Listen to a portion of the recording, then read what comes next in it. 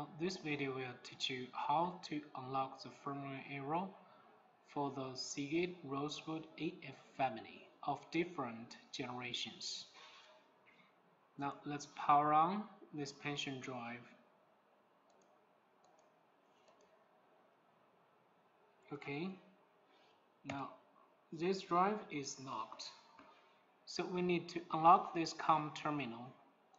We enter the software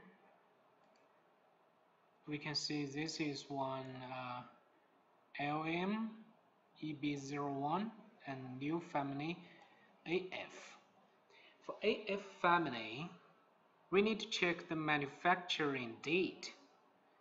If the manufacturing date is before the year of 2022, then we need to use different modes.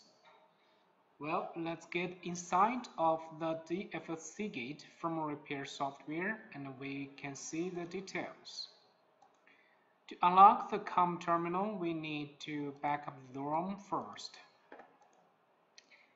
And we have already back up the ROM here, so next we can generate unlock ROM. This step is very important for this kind of family because this family contains two generations. Generation before the 2022 and generation after 2022. And this one is one old generation of AF family. So we select the original ROM here and now this is unlock ROM we need to select the parts to save this unlock ROM.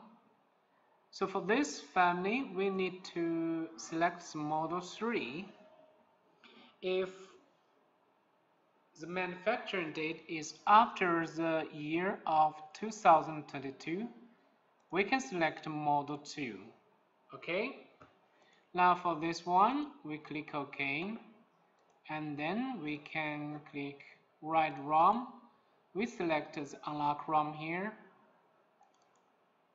And then we select the baud rate. Click write. Now after the unlock ROM, by the model 3 has been generated and written to this patient drive, uh, we can check within the COM terminal and what will happen if users select the wrong mode to generate the unlock ROM, for example mode 1 or mode 2, if users select this wrong mode 1 or mode 2, after users write, write the unlock ROM to the patient drive, users will get an LED error. But now we have selected the unlock ROM generated by this model 3 now we can see the unlock ROM generated by model 3 has been written to this patient drive. Now let's power off and power on this patient drive. We can see that the unlock handshake value has been output in this COM terminal. We just send unlock key and we can see we have already unlocked this firmware area successfully. We can try to exit the software and re-enter the DFL Seagate firmware repair software. Now let's check the firmware area and the software will access to the firmware and list all the firmware modules here. So the module list is available. That means we have unlocked the firmware area by the unlock ROM generated by model 3.